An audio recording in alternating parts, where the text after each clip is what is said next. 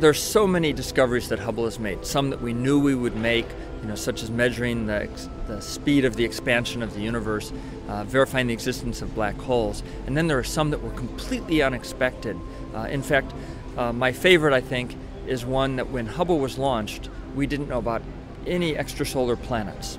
So my favorite Hubble discovery, if you will, is the measurement of the atmosphere of a planet around a nearby star that was made by the STIS instrument. I think it's uh, really, you know, boggles the mind or stimulates the imagination to think, you know, that here on Earth, with a telescope in orbit, we can actually spy on other planets and other solar systems.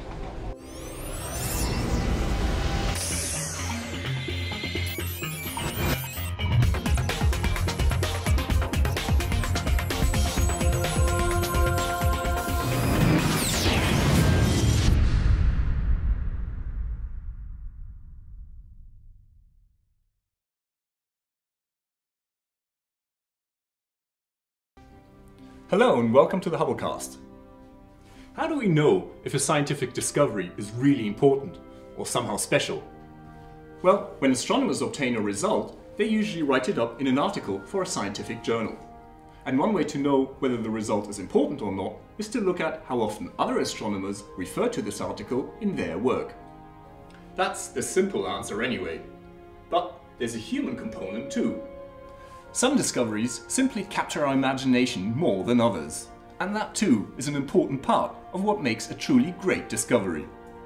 In this episode, we're going to talk to some of the leading astronomers that use the Hubble Space Telescope, and we're going to ask them about their favorite Hubble moments. My, my favorite Hubble discovery, of course, is one of my own, and it was a surprise that should not have been a surprise when we uh, first looked at the Orion Nebula, this region of nearby region of star formation, we found that we could actually see protoplanetary disk around many of the stars. Now, we should have expected to see this. We should have been looking for it, but we were looking for something else and found that. It was a wonderful feeling to discover the wonderful feeling to discover the proto protoplanetary disk. It was the, the closest thing to a eureka moment that I have ever had in science. You look at the image and then suddenly you everything comes together. You know exactly what you've seen and you're seeing something that no one else had ever seen before. It was wonderful. I've done a lot of research with Hubble, and in fact, almost all of my work has been done or based on Hubble images. Um, but perhaps my very favorite was this one galaxy that we observed very, very early on, NGC 4261. And what we saw when we looked at this galaxy was that um, there is a very small disk of gas and dust at the center, and then we could use the velocity of the gas in the disk to measure the mass of the central supermassive black hole. And that was one of the very first conclusive evidence for the presence of a black hole in a galaxy. I think my favorite Hubble discovery is based on aesthetics. And it's the imaging of these giant clusters of galaxies that show these beautiful gravitational lenses, the, the red cluster galaxies and the blue background galaxies. General relativity in action there, bending light and making images that are just stunning. I wish I had done that. Actually, early on, we weren't even certain that Hubble was going to be able to see distant galaxies. When Hubble was first being designed, um, the thought was that as you look farther and farther back in time, farther and farther out in the universe, galaxies would become just fainter, low, what are called low surface brightness, just sort of faint diffuse blobs, and, and you wouldn't be able to see them very well with Hubble. Uh, in fact, galaxies aren't just faint diffuse blobs, they have a lot of structure and, and a lot of regions within them that are bright, you know, because of stars being born uh, right there. And so it has been not only possible with Hubble to directly detect very distant galaxies, but now we we've actually seen objects that emitted their light when the universe was only seven or eight hundred million years old. And of course, the, the universe today is 13.7 billion years old. So we're looking back into the early nursery of, of our universe and, and seeing the, they're just coming along and starting to grow.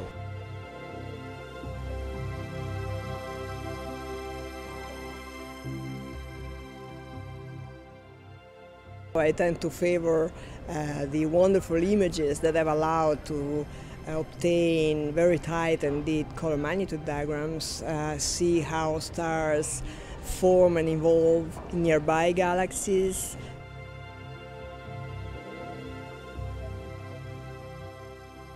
I think the beautiful pictures of the dust clouds uh, that are on everyone's desk are so amazingly beautiful uh, that they say, well, can we have some more? And so um, as a scientist, I look at that cloud and I say that cloud's beautiful, but it's hiding what I want to know about. So inside that cloud are stars that have been born recently or stars maybe about to be born. And uh, it tells us right away that we need to use infrared to see inside those clouds. So that's the, sort of the, the thing that I think about the most from the Hubble.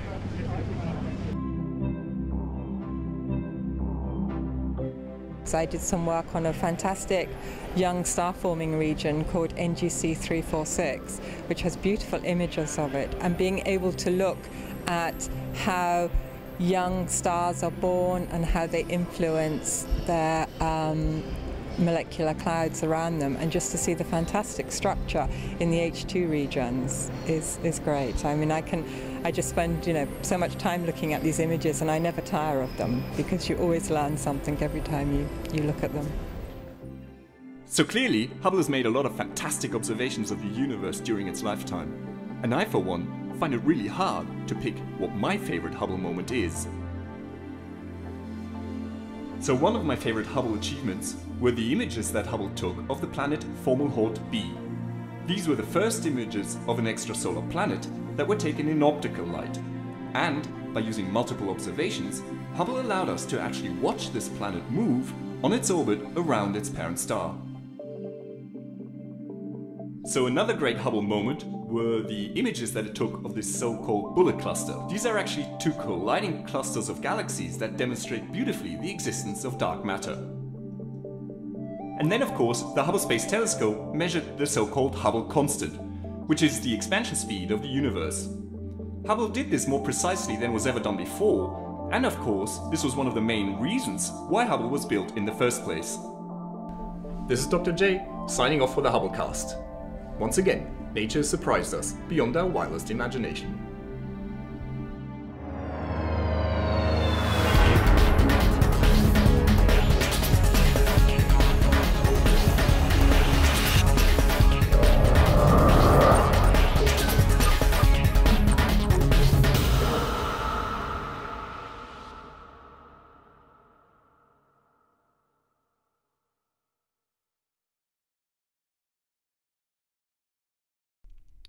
Now that you've caught up with Hubble, make sure to get the latest from the ground too. The ESOcast highlights the best of the European Southern Observatory and its powerful telescopes that observe from high in the Chilean Andes, at the Southern Hemisphere's best known sites for astronomical observations.